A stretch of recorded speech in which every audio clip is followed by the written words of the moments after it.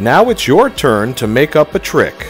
Use the equipment safely and make up a trick that you can show the rest of the class.